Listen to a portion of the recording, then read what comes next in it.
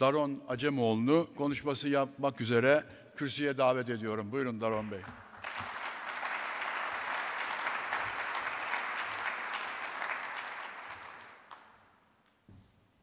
Teşekkürler.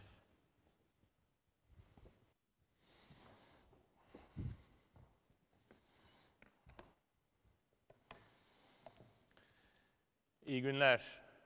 Beni buraya davet ettiğiniz için çok teşekkür ediyorum. Geleceği inşa etmek ya da geleceği yeniden inşa etmek bugünkü Türkiye için, dünya için en önemli konulardan bir tanesi. Belki de en kritik tartışma noktası. Ama aynı zamanda Simone Bey'in de dediği gibi geleceği inşa etmek, geleceğin kurumlarını inşa etmekten ayrı edilemez.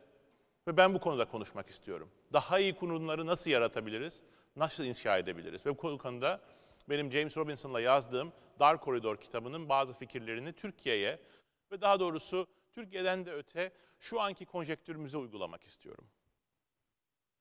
Bu da işte kitabın Türkçesi. Ee, adalet nedir? Kurumların gelişmesi, daha iyileşmesi, adil bir hale gelmeleriyle alakalı. Ama bizim vurguladığımız bir şey var ki adaleti bir tek yargı kurumlarıyla anlayamayız. Birincisi her toplumun içinde olan anlaşmazlıkları çözümlemek tarafsız, adil bir şekilde çözümlemek çok önemli. Çok insanın anladığı bu. Ama aynı zamanda toplumun sosyal ve siyasi olarak katılımı da çok önemli bir adalet için. Niye? Çünkü adaletin önce ne demek olduğunu düşünelim. Ve bu konuda e, Princeton'da e, önemli bir felsefi e, fikirlerin sahibi Philip Petty'nin tanımından bahsetmek istiyorum. Önce tahakküm tanımını tanımlıyor. Petit'e göre bir başkasının merhametiyle yaşamak ve başkasının keyfi buradan gözlerimle göremiyorum tam okumayı şuradan okuyayım. Ee, bir başkasının ona keyfi olarak dayatmada bulunabileceği kırılgan bir konumda yaşamak zorunda olmak. Sürekli olarak diğerinin ruh halini anlamak için tetikte yaşamak zorunda olmak. Yani ne demek tahakküm? Elinde sosyal güç olarak olmadan başkasına bağlı olarak yaşamak. Köle tabii ki tahakkümün en e, altında olan bir kesim. Ama çok eşitsiz, siyasi olarak eşitsiz, ekonomik olarak eşitsiz bir ülkede yaşayan insanların çoğu da tahakküme mazum.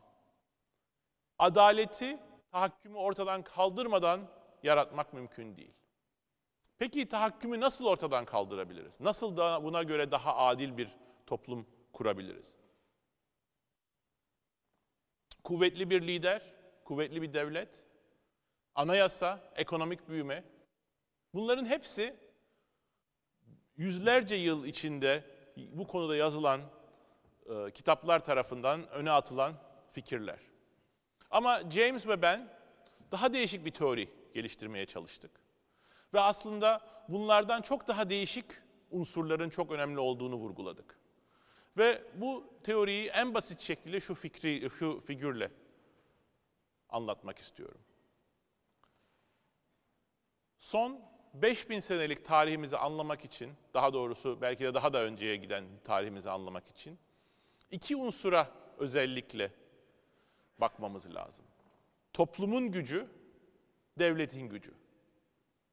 Bu ikisi genelde denge dışında olan şeyler. Eğer kuvvetli devletlerin çıkmadığı özellikle tarımdan önceki dönümlere bakarsanız ya da tarımın çok az geliştiği yerlere bakarsanız ufak e, ölçekli ülkeler e, şey toplumlar göreceksiniz. Bunlarda devlet kurumları neredeyse yok. Na mevcut devlet ya da na mevcut levayatan dediğimiz şeyler. Devlet kurumları çok zayıf olduğu için Değişik dinamiklere sahipler. Bunu aşağıki kuadrantta görebiliyorsunuz. Burada eşitlilik önemli de olsa tahakkümü ortadan kaldıran kurumlar yok. Çok daha fazla bildiğimiz şey Osmanlı'dan Çin'e, Rusya'dan e, orta e, e, kesim Avrupa'ya baktığınız zaman gördüğünüz ise despotik devlet kurumları ya da despotik levayatan. Burada da denge devletin elinde, sivil toplum ve toplumun politikaya katılımı çok düşük. Bu durumdaki dinamikler de gördüğünüz gibi şu anda da Çin'de de anladığımız gibi devletin giderek güçlenmesi ama daha da önemlisi toplumun, sivil toplumun giderek tüm niteliğini kaybetmesiyle gelişen bir dinamik. Ve bunu gösteren de bir ok var orada. Çok stilistik bir şekilde. Bizim kitapta e, anlattığımız en önemli olay şu ki tahakkümün ortaya çık, e, ortadan çıkması, limitlenmesi en iyi bu koridorun içinde oluyor.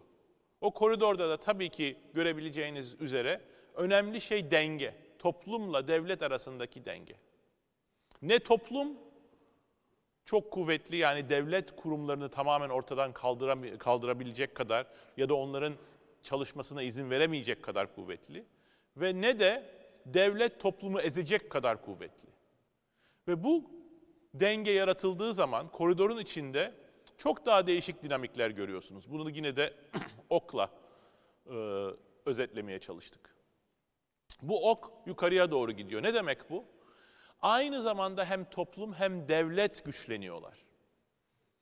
Yani özgürlüğü yaratmak, tahakkümün sonunu yaratmak, adaleti yaratmak ve birazdan anlatacağım gibi dinamik, yeni fikirler yaratan bir ekonomiyi yaratmak bir süreç, bir dinamik, bir noktayla değil, bir süreçle gelişen bir şey. Bu süreç 10 senelik, 20 senelik değil, 100 yıllık bir süreç. Ama bir yerde başlamak lazım. Bu dengeyi kurup o dengenin ivmesiyle hem toplumun kuvvetlenmesi, sivil toplumun politikaya girmesi, devleti denetlemesi, ele- elitleri denetlemesi, şirketleri denetlemesi, aynı zamanda devlet kurumlarının teknolojiye, küreselleşmeye ve e, gelişen problemlere ayak uydurabilecek kadar kapasitesinin artması. Yani çok dinamik bir şey. Bu dinamiği en iyi anlatan ve aslında bu dinamiğin kurumlarla çok alakalı olmasına rağmen kurumlardan da öteye giden bir şey olduğunu gösteren tarih çok bol. Ama bunlardan bir tanesinin örneğini vermek istiyorum. Devleti kontrol etmenin anlamını belki de en iyi anlatan örneklerden bir tanesi. Bu benim gösterdiğim koridordaki gelişmeyi gösteren ilk e, si- e, e, uygarlıklardan bir tanesi. Bundan 2520 sene önce başlayan eski Atina uygarlığı. Ve burada çok enteresan bir şey görüyorsunuz. Devlet kapasitesinin en hızlı arttığı bir dönem. Bu süreç içinde Atina yeniden yollar yapıyor, tarım reformu yapıyor, para politikası kurmaya başlıyor, bir refah devleti kurmaya başlıyor. Bundan 2500 sene önce. Ama bu devletin güçlenmesi ve toplum üstüne baskı yapmasıyla değil, devlet toplum dengesiyle olan bir şey. Ve bu yüzden bu e, şu anda birçok insan Atina'nın e, dünya demokrasisinin e, eşiği olduğunu vurguluyor. Ama aslında bu anayasayla, parlamentoyla olan bir, şey, bir tek bir şey değil. Tabii ki anayasa çok önemli. Buna yeniden vurgulayacağım. Parlamentolar, bunlar da çok önemli ama bundan da öteye gidiyor. Toplumun direkt politikaya girmesi. Ve bunun da sembolü e, K- Cleisthenes'in bundan e, 2400 sene önce geçirdiği bir kanun var. Ostracism kanunu. Cleisthenes'in kanununa göre her sene parlamento bir oy yapıyor ve bundan sonuç evet çıkarsa bir ostrasizm süreci başlıyor. Bu ostrasizm süreci içinde tüm e, Atinalı vatandaşlar, ne yazık ki bir tek erkekler, bir kırık porselen üzerine bir insanın ismini yazıyorlar. Bu hangi insanın ismi daha çok yazılmışsa 10 seneliğine Atina'dan sürgüne gidiyor bu insan. Niye böyle bir sistem kurmuşlar? Çünkü Atinalıların çok iyi anladıkları ve bizim bundan 2500-2400 senedir hala onlar kadar iyi anlamaya çalıştığımız şey bu ki devletin ve elitlerin çok güçlü olan insanların gücüne limit getirmeden koridorda yaşamak mümkün değil, adalet kurmak mümkün değil, tahakküme son vermek mümkün değil. Ve örneğin burada gö- gördüğünüz Temistokles'in ostrasizminden bir resim. Temistokles eğer eski Atina'ya giderseniz herhalde en büyük kahramanı iki kere kurtardı Atina'nın hayatını. Önce e, e, e, İran İmparatorluğu'na karşı sonra da Isparta'ya karşı onları hazırlayarak.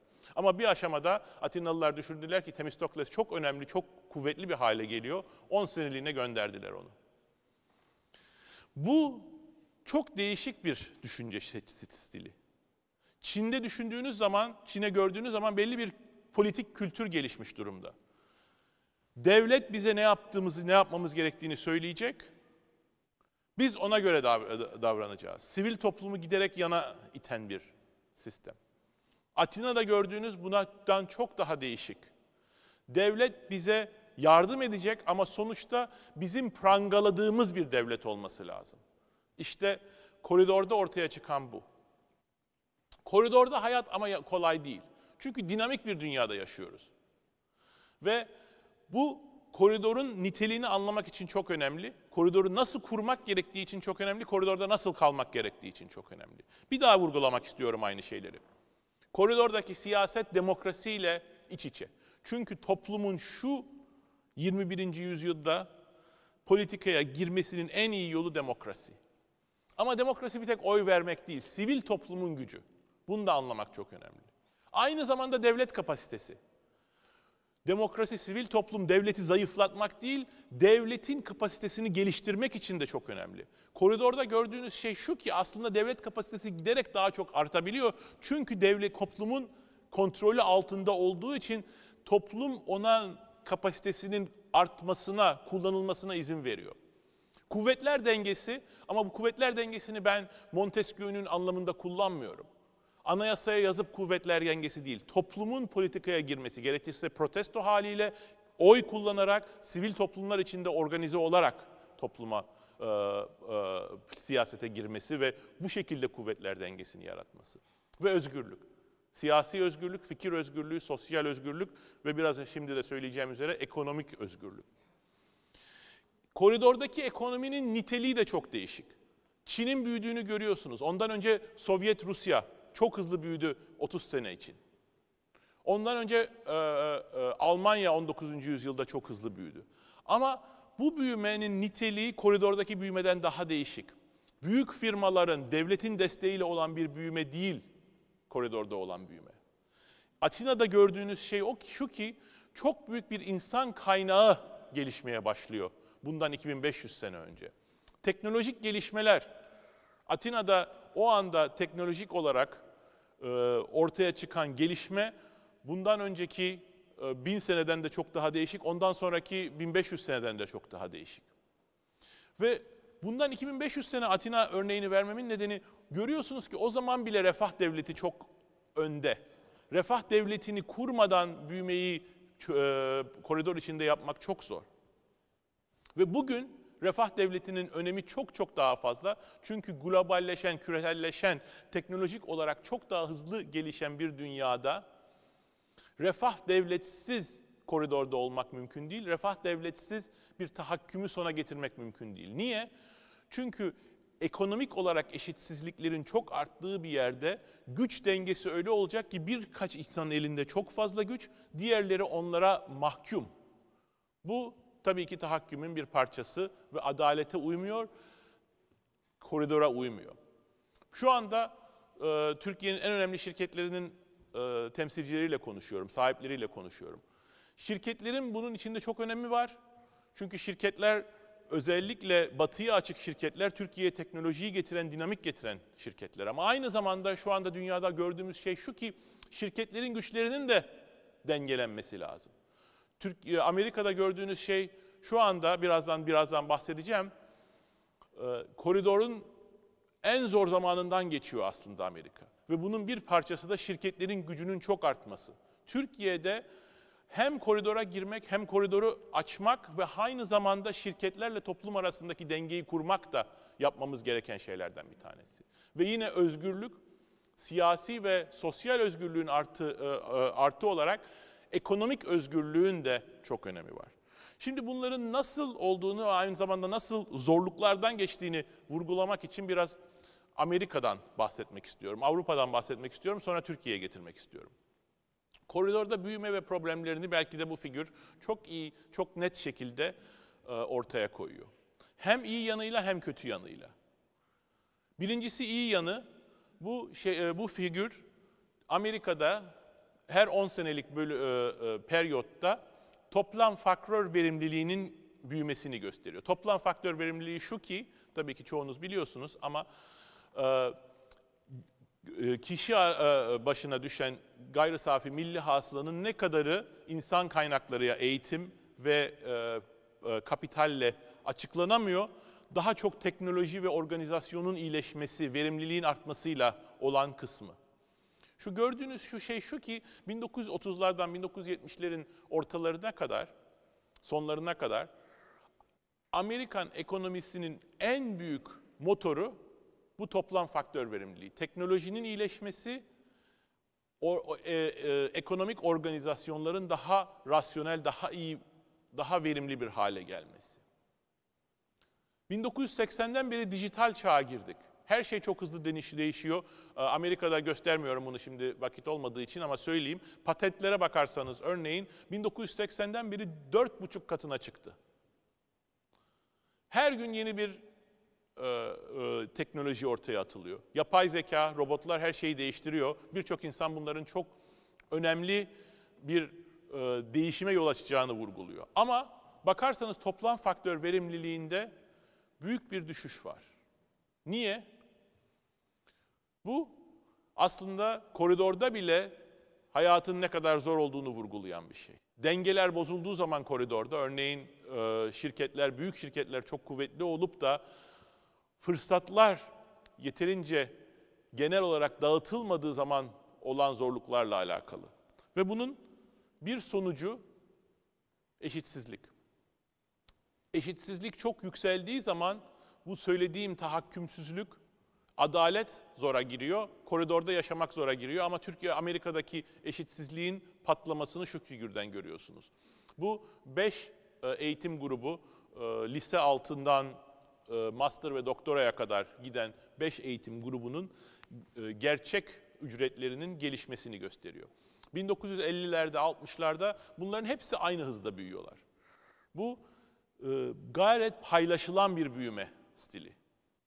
Ama 1980'den başlayarak görüyorsunuz ki büyük bir eşitsizlik ortaya çıkıyor ve daha da kötüsü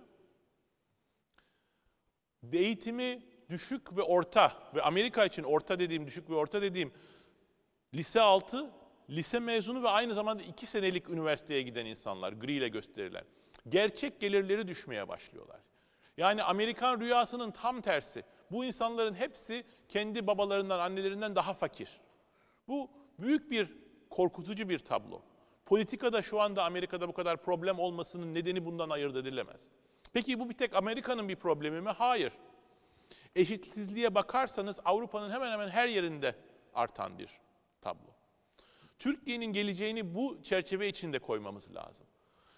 Eşitsizliği kontrol etmek şu anda koridorda olan ekonomini, siyasetin dinamiğini Türkiye'den çok daha iyi oturtmuş olan ülkeler için de bir kriz. Ve bunun nereden geldiğine bakarsanız bu da Türkiye için önemli bir şey.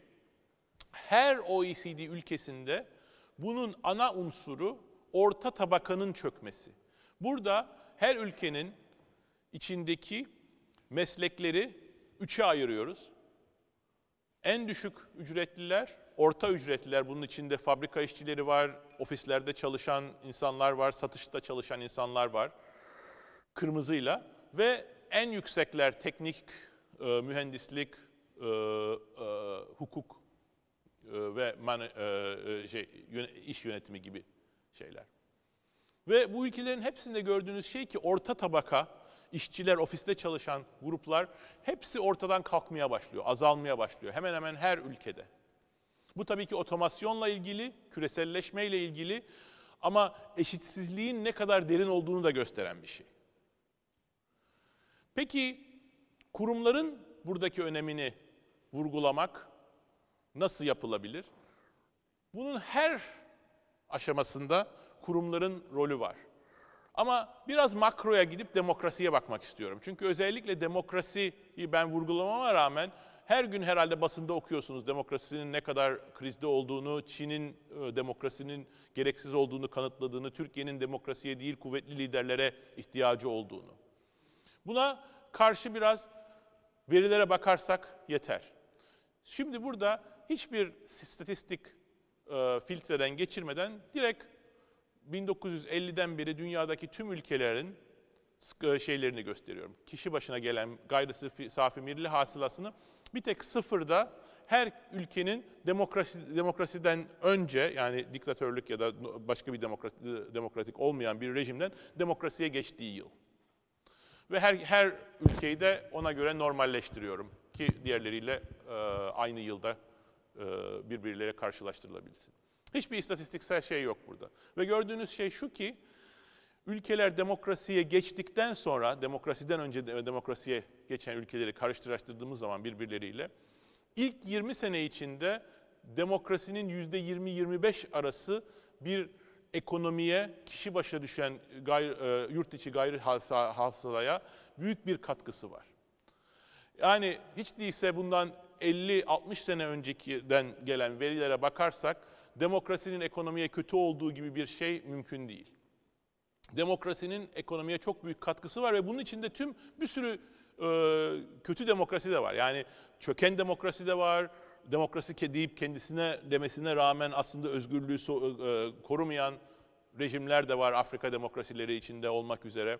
Ona rağmen bu demokrasilerin büyümeye olan etkisi çok pozitif. Bir şey daha görüyorsunuz bu figürde. Demokrasiye geçmeden sıfırdan önce aslında e, kişi başına gelen gelirde bir düşüş var. O da şundan dolayı diktatörlükler hiçbir zaman kendi başlarına gitmiyorlar. Ekonomik krizler içinde.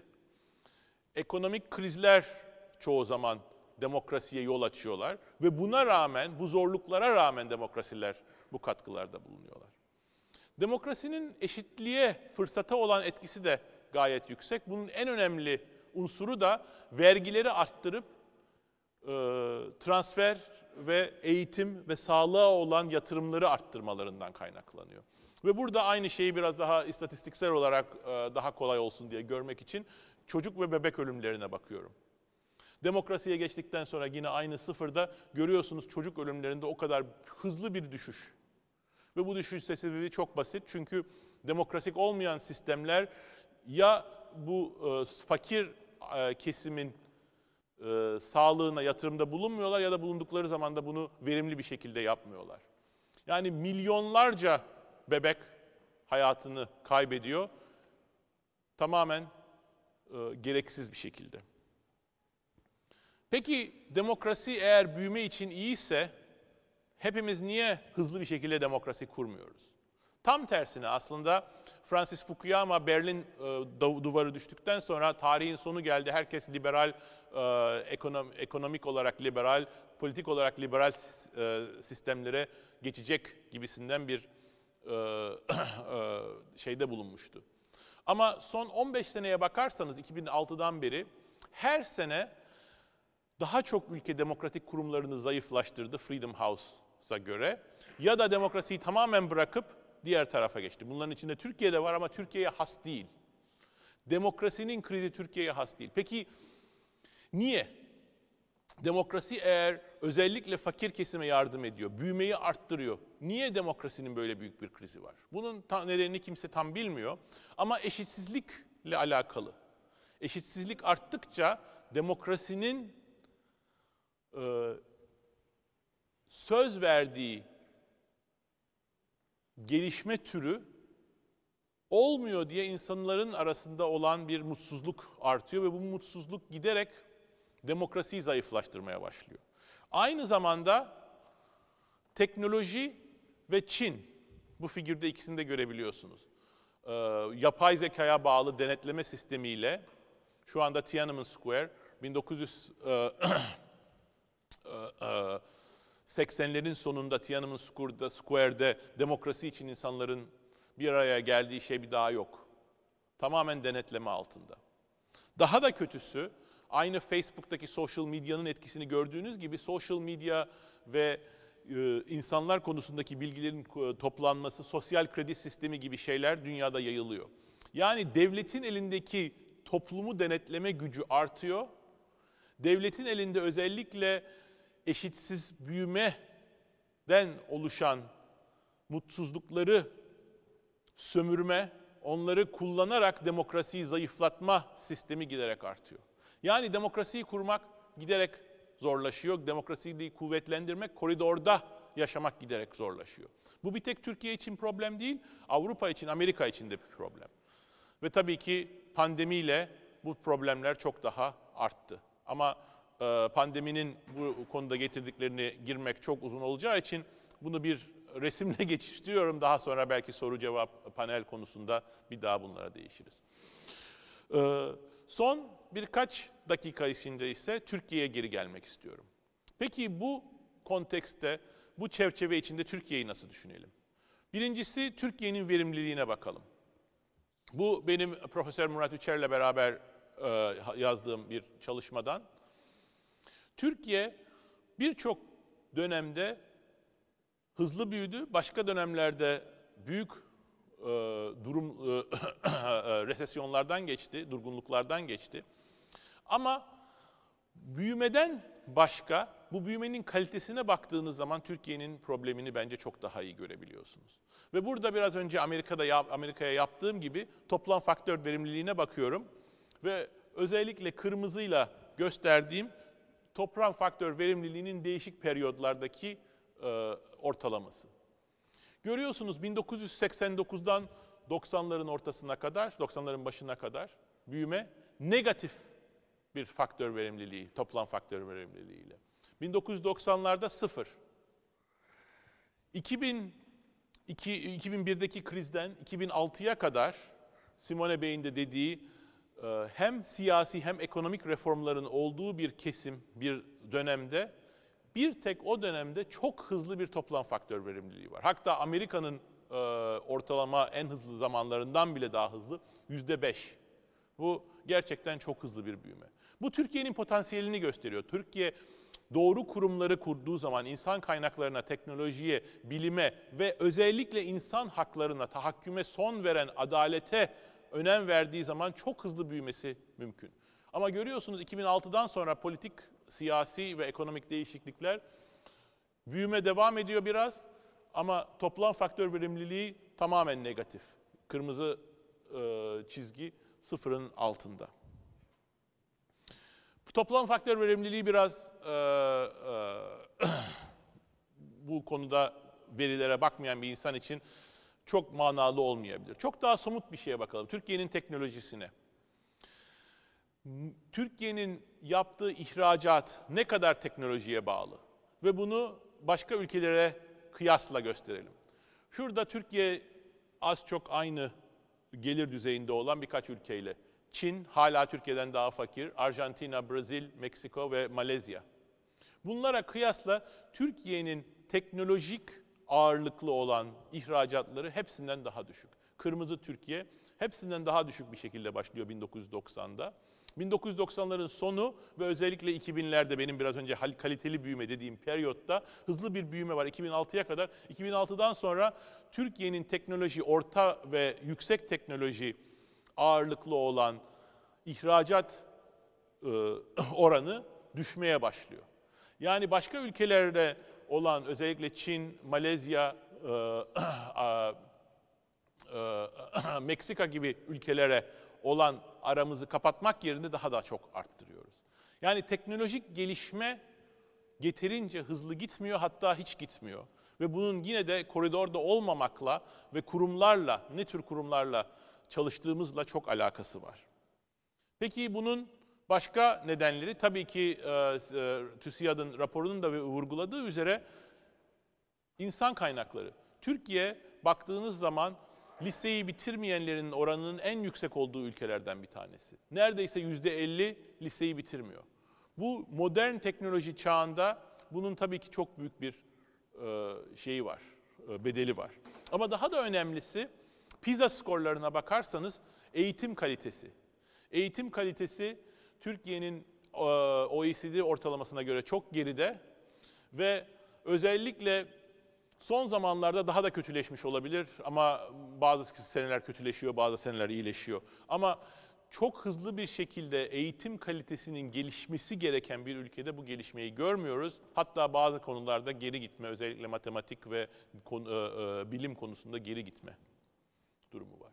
Ve eşitsizlik. Türkiye eşitsizliği zaten çok fazla yaşayan bir ülke. E, Gini koefficient'ıyla göre 1900 e, şey 2000'lerin başında yüzde 43. Bu e, Latin Amerika düzeylerinde çok yüksek bir eşitsizlik ve ben e, ve birçok başka buna bakan iktisatçı aslında bunun daha da yüksek olduğunu ama bir sürü kayıt dışı olan işlerden dolayı aslında eşitsizliğin ne kadar yüksek olduğunu bu rakamların göstermediği konusunda. 2000'lerde kaliteli büyüme zamanında eşitsizlik de düşüyor ama kaliteli büyüme kurumsalların kurumsallaşmanın geri gittiği dönemde eşitsizliğin yine arttığını görüyorsunuz. Yani eşitsizlik problemi bir tek Avrupa'nın, Amerika'nın değil, Türkiye'nin de problemi ama Türkiye'deki eşitsizlik probleminin niteliği çok daha farklı. Çünkü biz teknolojideki ilerlemeyi o kadar hızlı yapmamamıza rağmen sistemin iyi oturmadığı rantlardan dolayı eşitsizliğin hızlandığı bir dönemden geçiyoruz. Ve bunların hepsinin altında da kurumların kötüleşmesinin bir rolü var. Ee, e, biraz önceki e, Simone Bey'in de konuşmasıyla vurguladığı üzerine hangi kurumsal indekse ve hangi şeyine bakarsanız Türkiye'de son 15 sene 20 sene içinde geri, e, 15 sene içinde diyelim 15 20 değil 15 sene içinde birçok gerileme var. Ve özellikle son e, 5-6 sene içinde Türkiye en çok kurumsal kötüleşmeyi geçiren ülke Mali'den sonra ki Mali'de ne olduğunu biliyorsunuz yani onlara kıyaslamayı bırakırsak Türkiye dünyadaki en çok kurumsal olarak geri giden ülke. Ve bunların içinde özellikle e, medya özgürlüğü ve ifade özgürlüğü var. Bunlardaki Türkiye'nin bu konulardaki geri gitmesi en hızlı olan şey. Peki e, bunların ekonomiye etkisi, bunların ekonomiye etkisini herhalde bu e, oda içindeki olan insanlar çok iyi görüyorlar ama bir e, unsurunu vurgulayayım. Bu da Dünya Bankası'nın geçen sene çıkan bir raporundan. E, iş dünyasını etkileyen denetleme ve regülasyonlara baktığınız zaman büyük bir patlama var bu regülasyonlarda. Tabii ki regülasyon 21. yüzyıl için çok önemli bir şey. Doğru regülasyon önemli. Yeni regülasyonların getirilmesi lazım. Örneğin dijital teknoloji, yapay zeka konusunda. Ama bakarsanız bunun kompozisyonuna ne kadar keyfi olduğunu görüyorsunuz. Eğer parlamentodan geçen yeni regülasyonlara bakarsanız bunlarda hiç artma yok. Bu artmanın tümü parlamento sisteminden geçmeyen ya Cumhurbaşkanlığı ya da Başbakanlık ofisinden direkt olarak gelen ya da parlamento dışı başka regülasyonlar halinde. Yani keyfiyeti gayet yüksek olan regülasyonlar ki dü- dü- e, diş dünyasına özellikle teknolojik gelişime, özellikle yatırıma etkileri en çok negatif olanlarından. Peki Türkiye'nin temel problemlerinin aslını bizim bu çerçevede nasıl görüyoruz? Koridorda olmamak. Türkiye birçok açıdan son e, 60-70 sene içinde gelişmelerde bulundu. Teknolojik olarak, e, demokratik sistem olarak ama hala koridorda değil. Ve koridorda olmamanın nedeni de sivil toplumun zayıflığı. Demokrasi olduğu zaman bile Türkiye'de sivil toplum zayıf. Ve bu da yine aynı şeye geliyor. Anayasa çok önemli. Doğru anayasa, doğru kanunlar olmadan ne devlet kapasitesini arttırmak mümkün ne toplumun e, e, siyasete girmesi doğru bir şekilde mümkün değil. Anayasa hem kanunları belirliyor, hem siyasi sistemi belirliyor hem de Simone Bey'in İstanbul Sözleşmesi konusunda vurguladığı gibi sembolik olarak da toplumdan ne beklediğimizi gösteriyor. Ama anayasa yeterli değil. Anayasayı doğru yapsanız bile eğer toplum aktif olarak politikaya girmiyorsa bu gerçekten mümkün değil. Ve bunların dinamiklerini Avrupa'da görüyoruz, tarihte görüyoruz. Ben daha uzatmadan son e, figürümle bitirmek istiyorum. Türkiye şey e, koridorun dışında olursanız koridora girmenin birçok yolu var. Hangi yol bir ülke için daha uygun? Nereden başladığınıza belli. Eğer çok zayıf toplumsal ve çok zayıf kurumsal bir şekildeyseniz yol 3 gibi e, bir yol var. Eğer top, e, devletin çok zayıf olduğu bir sistemden girerseniz birçok Afrika ülkesinin olduğu gibi devlet kapasitesinin arttırılması, devletin özelliğinin arttırılması çok önemli. Ama birçok başka ülke gibi Türkiye'nin de durumu sivil toplumun zayıflığı ve koridora girmenin yolu sivil toplumun artması. Sivil toplumun gücünün artması, insanların politikaya aktif olarak gerçekten katılması. Bu anayasayla olacak bir şey değil. Anayasa yardım eder, kanunlar yardım eder ama toplumun özgürlüklerinin ve toplumun politikaya olan bakış açısının da değişmesi lazım. Ve çok daha iyi bir gelecek inşa etmek için bizim önümüzde çok yol var ama bu da çok önemli bir süreç. Daha iyi bir gelecek inşa etmek için daha iyi kurumlar inşa etmemiz lazım. Daha iyi kurumlar inşa etmemiz için toplumun da çok daha aktif bir şekilde politikaya girmesi lazım. Çok teşekkür ediyorum.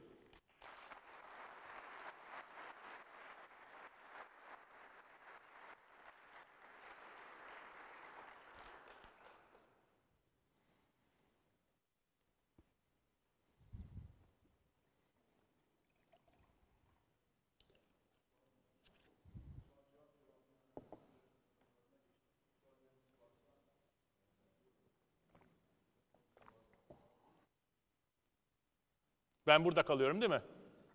Burada.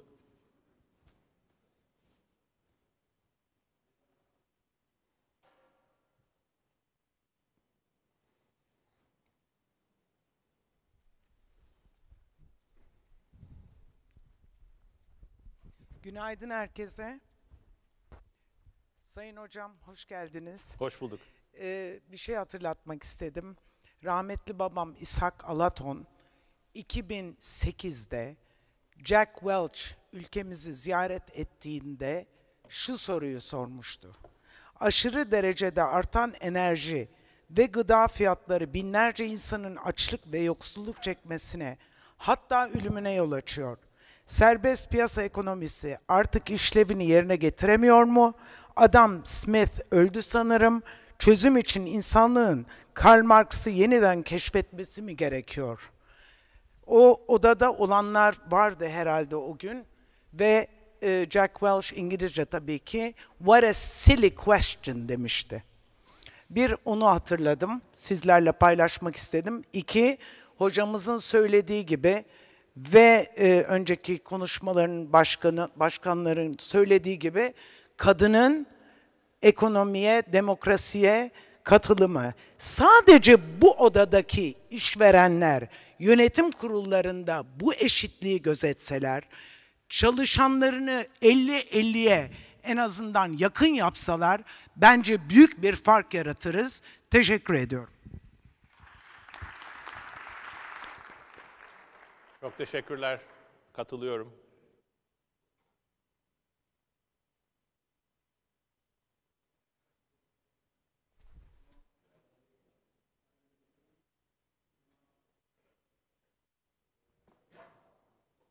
Bir soru daha var galiba orada.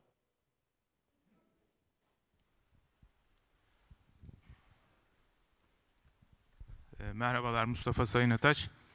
Sayın Hocam sunumunuz için çok teşekkür ediyorum. E, Son slaydınızla alakalı e, bir soru sormak istiyorum. Şimdi koridora girmek noktasında e, sivil toplumu işaret ettiniz. Şimdi Türkiye'de geldiğimiz noktaya baktığımızda e, iki tane önemli parametre var. E, Bir tanesi toplumun mevcut düzene bir şekilde adapte olması ve bundan şikayet etse dahi o düzen içerisinde yaşama alışkanlığı var. İkincisi de malum en kritik nokta eğitim seviyemiz son derece düşük. Bu iki parametreyi düşünerek bu paradoksu nasıl aşabiliriz? Teşekkür ediyorum. Sivil toplumun gücünün artması bir günde olacak bir şey değil. Bu hem siyasi bir süreç hem de kültürel bir süreç. Örneğin biraz önceki e, e, soruda Türkiye'deki kadınların rolü. Yani e, tabii ki tahakkümden konuşurken, adalet eksikliğinden konuşurken e, kadınların rolünü vurgulamadan yapmak mümkün değil.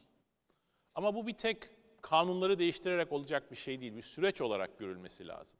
Örneğin biraz önce e, de sizin vurguladığınız üzere şirketlerin e, daha çok kadınlara fırsat vermesi bunun çok önemli bir parçası. Ama yeterli mi? Değil. Çünkü Türkiye'nin nüfusunun bir bölümü, çok yüksek bir bölümü hala e, kırsal ya da kesimde ya da ufak illerde. Bunun bir kültürel ve sosyal yönü var. Buna yol açmak, bunun dinamiklerini başlatmak da çok önemli. Bunda hem kurumların rolü var, bazı şeylerin kanun dışı olduğunu göstermek ve bunu e, gerçekten uygulamak. Ama aynı zamanda kurumların yardımıyla toplumun normlarının, törelerinin değişme süreci başlaması. Aslında aynı şey sivil toplumun gücüyle de alakalı. Çin'de bakarsanız şu anda Çin'i sivil toplumun ne kadar zayıf olduğunu örneğini olarak göstermiştim. Peki Çin'de insanlar hayatlarından memnunlar mı? Hayır. Bakarsanız, e, e, sondajlara bakarsanız, e, sosyal medyaya bakarsanız birçok mutsuzluk var. Ama öyle bir baskı ve ona göre bir sosyal sistem değişti ki Çin'de zaten başından beri öyleydi ama olan özgürlükler de ortadan çıkınca özellikle son 15 sene içinde. İnsanlar bu mutsuzluklarını kesinlikle politikaya açmıyorlar. Hiçbir zaman diyor, demiyorlar ki biz mutsuzuz, hava kirli, e, yaşadığımız yerlerden atılıyoruz. Şehirlere geldiğimizde özellikle kırsal kesimden hiçbir hakkımız yok. Bu yüzden bir organize olalım, buna bizim haklarımızı savunan bir parti kuralım. Bunu demiyorlar. Niye demiyorlar? Çünkü sosyal sistem bunları demelerine izin vermiyor. Birincisi bunu söylediğin zaman hemen hapse giriyorsunuz. Sosyal medyada özellikle böyle bir şey diyebilecek bir insan hatta e, iki tane değişik konudaki mutsuzluğu bir araya getiren bir söylem getiren bir insanın hemen e, hesabı kapanıyor. Onun hakkında soruşturma başlanıyor. Tabii bu böyle olunca insanlar da bunu içselleştiriyorlar. Mutsuzluklarını değişik bir şekilde. Ya belki de bizim başımızdaki çok iyi liderin biraz daha iyi fikir üretmesi gerekir gibi bir söyleme getiriyorlar. Türkiye'de toplumun zayıflığı tabii ki Çin'le aynı düzeyde değil ama aynı dinamikleri görüyorsunuz. Türkiye'de insanlar yeterince toplumun kuvvetinin artması için belli bir süreçten geçmeleri lazım ve bu sürecin bir parçası da bazı şeylerin bize yukarıdan gelmesi değil, bizim kendimizin aktif ta, e, katılımıyla ortaya çıkmasını anlamamız ve buna göre çalışmamız lazım. Ve bu sürecin çok önemli olduğunu düşünüyorum. Bir günde değişecek bir şey değil ama kurumsal değişim bunun ilk e, adımı ve sivil toplumun liderliği, lider e, örgütleri ki TÜSİAD da bunun bir bölümü, işçi e, işçi kesiminin sendikaları da bunun bir bölümü, gazeteler de bunun bir bölümü. Özgürlükle bu